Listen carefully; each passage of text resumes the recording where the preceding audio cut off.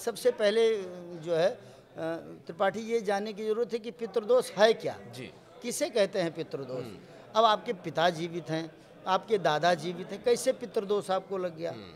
पितृदोष का मतलब है जब आप गऊ की अपमान करते हैं तीर्थों का अपमान पितृदोष लगता कितने प्रकार से? अभी बहुत सारे गृहस्थियों को ये नहीं पता होगा। मैं ज्योतिषियों की बात नहीं करूँगा क्षमा के साथ क्योंकि जब आप तीर्थों की निंदा करते हैं तो दोष लगता है। अपने माता पिता की निंदा करते हैं अपने माता पिता का अपमान करते हैं तो पितृदोष बनता है।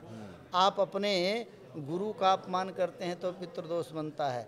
ज, लिखा है आप जिस जन्म भूमि में रहते हैं उस जन्म भूमि का अपमान करते हैं तो भी पितृ पितृदोष और केवल आप तीन बार बोल दिए ओम स्वधा स्वाहा ओम स्वधा स्वाहा पितृ प्रसन्न हो जाएँगे। उनको याद कर लीजिए उनको क्या चाहिए?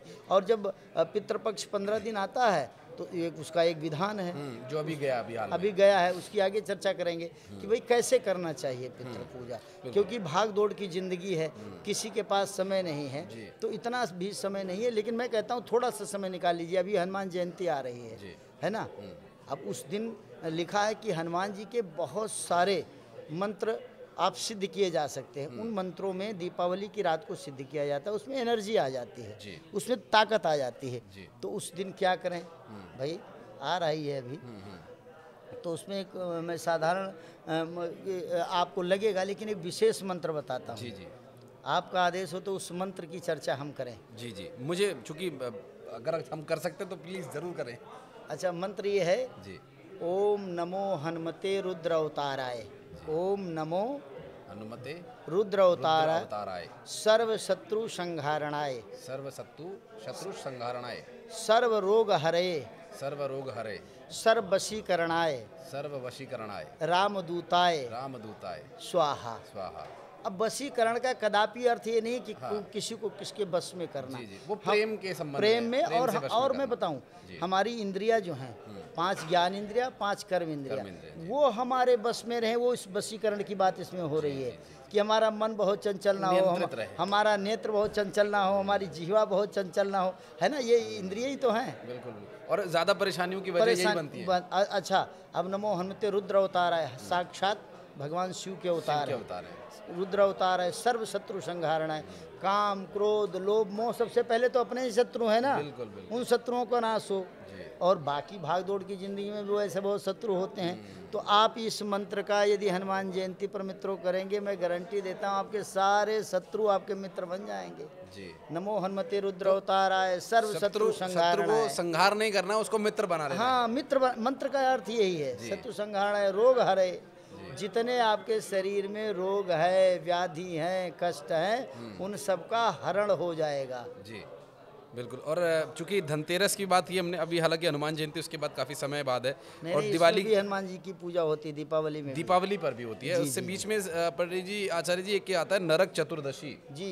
ये नरक चतुर्दशी पे क्या करें नरक चतुर्दशी पर ही हनुमान जी की पूजा होती है। अच्छा। तो ये सुबह में दिन में होगी शाम के समय? ये इकतीस तारीख को होगी। अच्छा इकतीस तारीख की शाम को कर सकते हैं? हाँ बिल्कुल कर सकते हैं दिन में भी कर सकते हैं सुबह भी कर सकते हैं शाम को कर सकते हैं क्योंकि उस दिन पूजा तीन बज करके तिरपन या चौवन मिनट तक ही करना चाहिए। उसके बाद अमावस्या लग जाती। उसी को लेकर के तो बहुत सारे ज्योतिषी कर रहे हैं कि इकतीस तारीख को दीपावली करो। नहीं उस दिन नरक चतुर्दशी है उस दिन विशेष करके आपके अपने सुख के लिए शांति के लिए समृद्धि के लिए जो बहुत सारे आपने धन रखा है बहुत सारी चीज़ें रख रखी हैं। उनको आप सहजता से नरक चतुर्दशी पर आप उनको देखते हैं कि भाई घर में सब सुरक्षित हैं सब करते हैं अपने रिश्तेदारों को मित्रों को परिवार को एकत्रित करना चाहिए। एकत्रित करना चाहिए सामूहिक रूप से आप भगवान का आवाहन करेंगे। यही बात भगवान शिव ने कहा था जब पृथ्वी अकुलाई और कहा कि महाराज भगवान के लिए कहाँ चलें? तो भगवान शंकर जी बोले मैं भी उस सभा में था। तो भगवान को ढूँढने के लिए कहीं जाने की ज़रूरत नहीं है। तो आप कहेंगे कि कैसे नहीं है? तो भगवान शिव की वाणी है जो शिव जी ने कहा वो मैं आपसे चर्चा कर रहा हूँ। भगवान शिव ने कहा हरि व्यापक सर्वत्र समाना। भगवान तो हर जगह है। लेकिन हरि व्यापक सर्वत्र समाना प्रेम ते प्रगट होए मैं माना। भगवान शिव ने कहा यदि आप प्रेम से बैठ करके ईश्वर को जहाँ बुलाएँगे भगवान वहीं आपको प्रकट हो जाएगा वो यानी कि उसकी कृपा की आपको अनुभूति हो जाएगी। तो तो इसलिए सब परिवार को नरक चतुर्दशी दिन को वैसे तो पाँच दिन दीपमाला करनी चाहिए। उस दिन शाम को भी दीपक जलाना चाहिए। खास करके अपने पितरों के लिए। अच्छा पाँच जगह दीपक जलाने का बड़ा महत्व है।